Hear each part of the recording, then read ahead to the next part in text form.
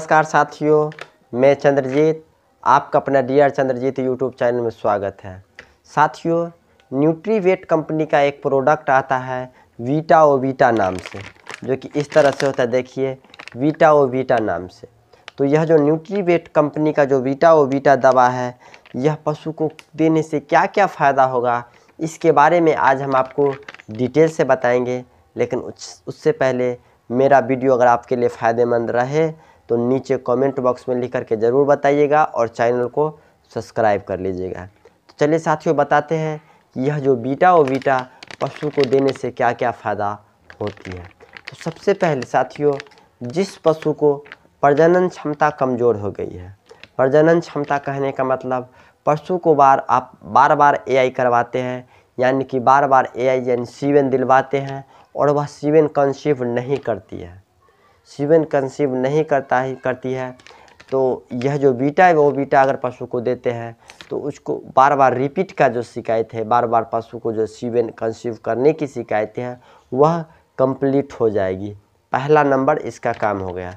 दूसरा नंबर साथियों, जो पशु कमज़ोर है, बिल्कुल कमज़ोर हो गई है, चाहे किसी भी वजह से पशु कमज़ोर हो गई है तो उसको अगर बीटा वो बीटा देते हैं तो बहुत जल्दी रिकवरी मिलेगी, बहुत जल्दी उसका शरीर ग्रोथ करेगी, उसका हेल्थ भी बढ़ेगी, उसका इम्यूनिटी पावर भी बढ़ेगी। दूसरा नंबर तीसरा नंबर साथियों, पशु को रेड वाटर हो जाती है। रेड वाटर कहने का मतलब लाल पेशाब होने लगती है।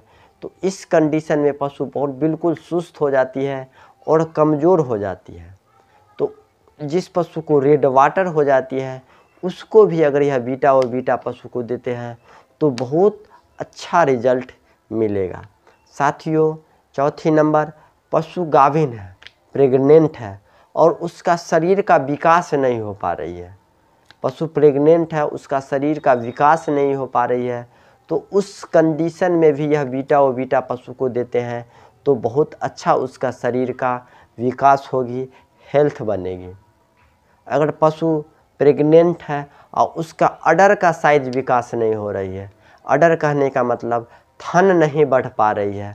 तो यह अगर और बीटा पशु को देते हैं तो उसका थन भी बढ़ाने में बहुत मदद करेगी। पशु अगर कमज़ोर है और वह लड़खड़ा करके चलती है तो ऐसी कंडीशन में भी यह बीटा व बीटा अगर पशु को देते हैं तो उसको कमज़ोरी ख़त्म होगी और वह जो लड़खड़ा करके चल रही है वह लड़खड़ा करके चलनाई बिल्कुल ख़त्म कर देगी।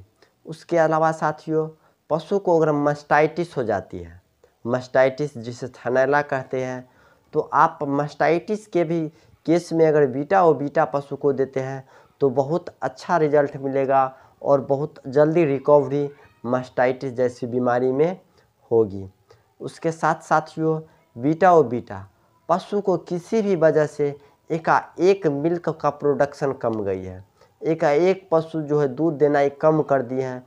चाहे वह किसी भी वजह से, बीमारी के वजह से या मौसम परिवर्तन इन्वायरमेंट परिवर्तन के कारण अगर पशु का जो दूध का प्रोडक्शन है बिल्कुल ख़त्म हो गई है तो वैसी कंडीशन में भी यह बीटा और बीटा पशु को देते हैं तो बहुत अच्छा रिज़ल्ट मिलेगा। साथ साथ साथियों, पशु को अगर मिल्क फीवर की शिकायत हो जाती है।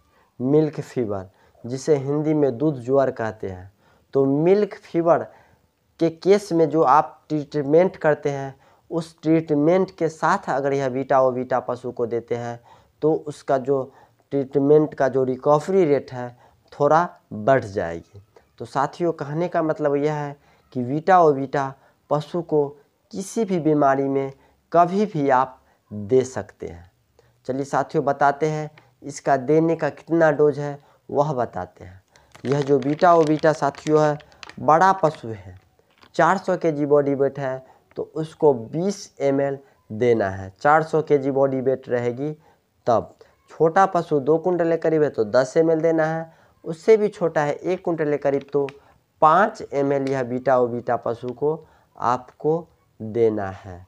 साथियों, बीटा ओ बीटा जो कि न्यूट्रीवेट कंपनी का आता है। इसके बारे में ये वीडियो आपको कैसा लगा, फ़ायदेमंद रहा कि नहीं रहा, नीचे कमेंट बॉक्स में लिख करके ज़रूर बताइए। नमस्कार।